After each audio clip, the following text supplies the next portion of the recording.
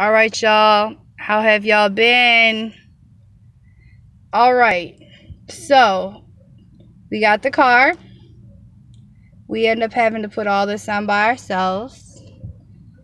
And today, we are going to put some princess touches on it.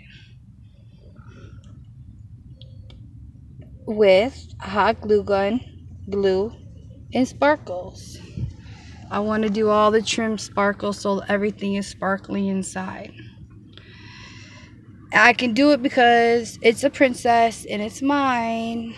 So, but yeah, I glued all that down. I'm probably going to do that. So, it looks good. The muffler's still not on it. I'm probably going to have to do the oil change. We fired the mechanic. So, I'm probably going to have to do it myself. But anyways, I will be back. I'll be back once I do a little bit. I don't even know what I'm doing, but I know it's going to look pretty. All right, you guys. I'll be back.